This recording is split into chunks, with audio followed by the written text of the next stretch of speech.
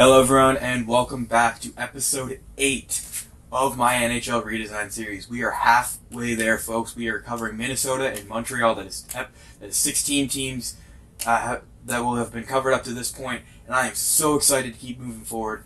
So let's move on. Uh, this is going to be a, uh, a little different. as you can see, Minnesota has a off-white away jersey, but they're not an original 16. I know I only said I did it for the original 16, but this is the exception I made as well. Um, the actual color that is used is called Minnesota wheat, so I decided to incorporate that into their away jersey.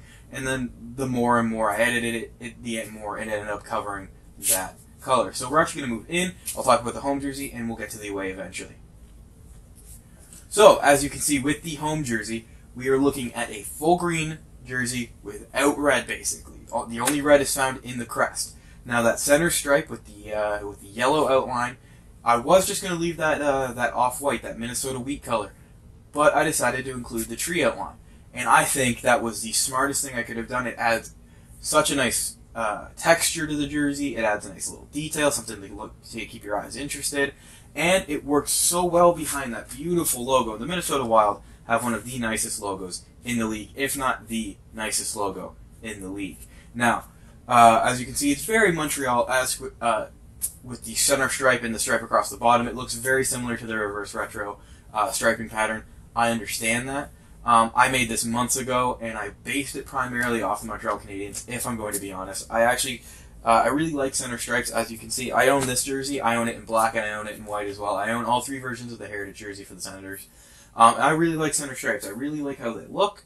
I think they look classic. I think they'll never age uh, in, in the NHL or in any sport really um, that has had them for as long as the NHL has. So I really like the idea of a center stripe. I really like it with the Minnesota Wild logo, and I really like that texture I put in behind there.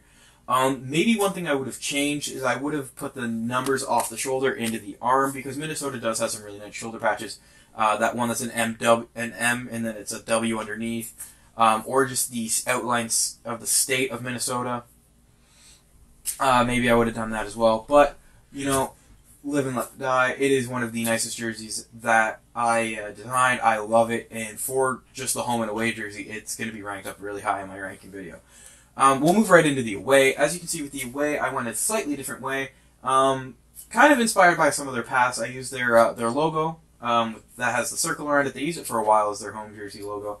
Um, and then the shoulders and the upper half of the arm are green, that yellow stripe separates it, and then goes further back down into the white. Now, I did that mainly because I wanted something different. I wanted to use a pattern that not many NHL teams use, and I wanted to use a color combination again not many NHL teams have. So I went with the green, the yellow, and the white. I don't like using red. Too many teams have red, um, and a lot enough of them have it as their primary color. Um, I used it as the alternate, as you saw, and we'll get into. But with the with the away, I brought the numbers from the shoulder down onto the arm, uh, and yeah, just about that. I'm not a huge, huge fan on the shoulder to arm color thing. Maybe I would have changed that. Maybe I, because uh, I was taking inspiration from Vegas for the shoulder, or for the upper arm, uh, and the, sh- the shoulder color. I just kind of like the, the, idea of it bleeding down. Maybe I would change that now in hindsight. Um, the yellow collar bit right there, I love it. I think it's very nice. It's a very clean jersey, and it's very, very nice. Um, moving on to the alternate, I don't like this. I do not like it. There's nothing wrong with it, and it's a very nice jersey, and I could see them using it.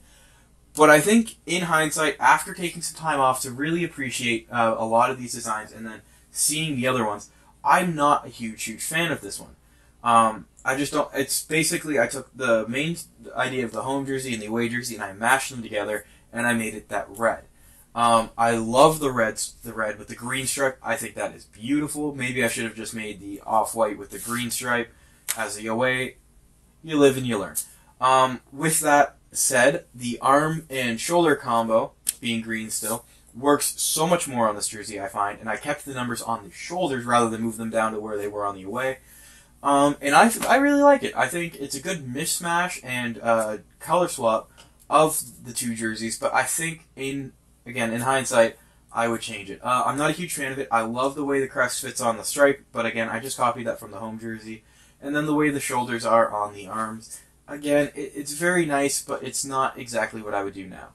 Um, I love the colors. Minnesota has some of the nicest colors, and again, it has the nicest logo in the league, in my opinion. It's so cool. The bear with the trees and the lake, and the river and the stars, the eye. It's it is so cool. I I love that logo. So uh, that's pretty much it for Minnesota. I really like it, but again, I may change it in the uh, in a in a further redesign because I will be revisiting the NHL at some point.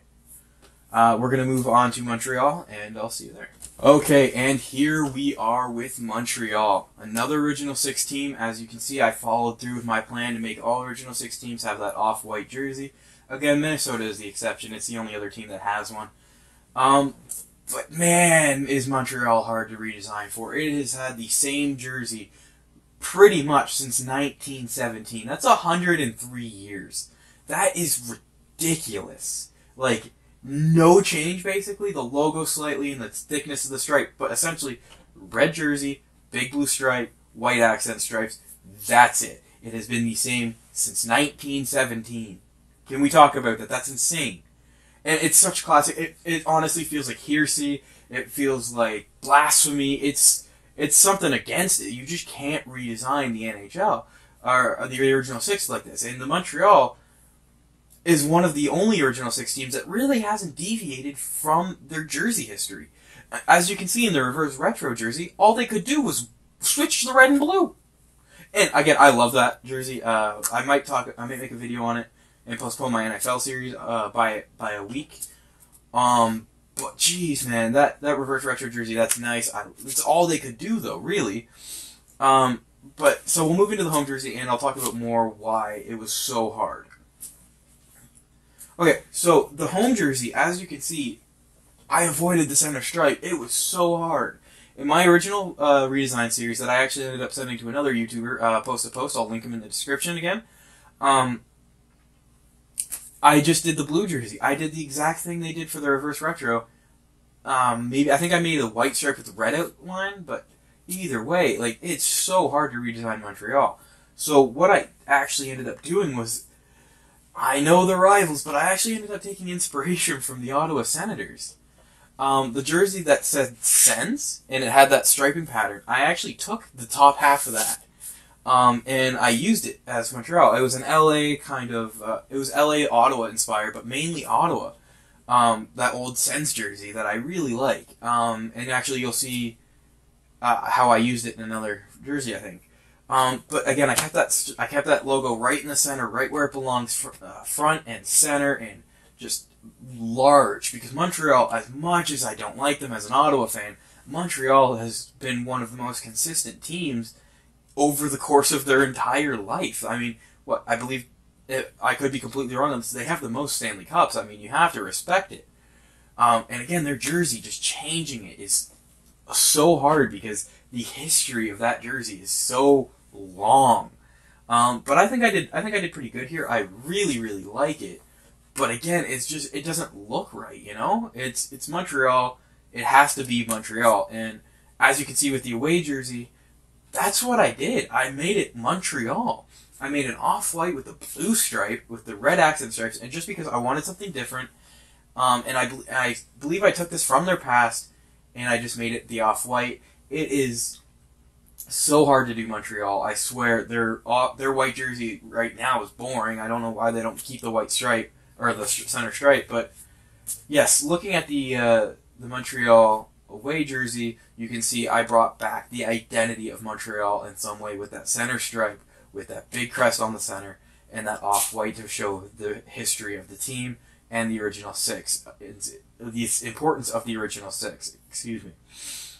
Really, the away jersey is just my way of paying respect after changing the home jersey because the home jersey has not changed since 1917. Like I said, that's insane. Uh, moving on, we do have the Maroons the Montreal Maroons is the alternate. Now, this was really fun to design. I, I, I really tried to pull from uh, different histories, different teams. I tried to even make just a normal Montreal alternate. I couldn't make anything look right. I could have just made a blue jersey, but I had a feeling that's what the reverse retro was going to be, so I didn't want to just do that. Um, so as you can see, I went with the Montreal Maroons, and it is a beautiful, deep maroon with that off-white. I wanted to keep the age of the team because Maroons came before the Montreal Canadiens if you can even believe that. Um, so it's just a beautiful, beautiful jersey. Honestly, it doesn't even look out of place in today's NHL. You could throw that. Uh, you could throw the Montreal crest on that. Make that the. Uh, make that the Montreal's red rather than that maroon, and it could be either the alternate. It could be the new home. It's just a beautiful jersey. It's almost a one to one.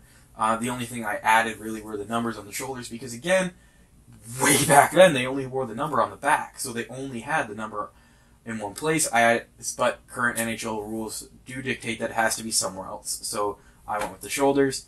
Um, and of course, it's just beautiful. It is so clean, so very, very classic. Um, I believe it is one to one with uh, a Maroons jersey from the past, if not slightly different. Um, I love this, this, redesign. I think it is one of the nicest I covered, and uh, I'm really, really happy with it. So uh, I hope you do. I hope you like it too. And Montreal plans fans, please don't kill me. Uh, I know changing the home jersey is something that is very hard to do, and I think I did a very good job. But again, a little bias there. Okay, so thank you for tuning in to episode 8. We have covered 16 teams. It's 8 episodes. We are halfway there, folks. Thank you for sticking with me, and please stick with me a little further. As you can see, I kept the second or the new layout for this uh, second episode with it. I think I'm starting to like it. I like the uh, the ability to kind of like move around, get some blood flowing, uh, interact better than sitting down. I do like the sitting down. I might go back to it for some episodes, and, and I might not. Um, of course, as you can see, I uh, I really like it. I like being able to stand. It really helps me out. I may move out of frame and kind of up and down and whatever, but I really like it. I kind of like the uh, the interaction, talking to the camera rather than kind of beaming down on me and interrogating me. I like this. I like this a lot. Um, so thank you for tuning in. Uh, next episode is Nashville and New Jersey, I believe. Yes, I'm just looking at my calendar. Even though it's way across the room now, I'm still looking at it. So uh, I don't think I'm ever going to change that. So Nashville, New Jersey, next episode. Thank you for tuning in. We're halfway there, folks. Have a great day.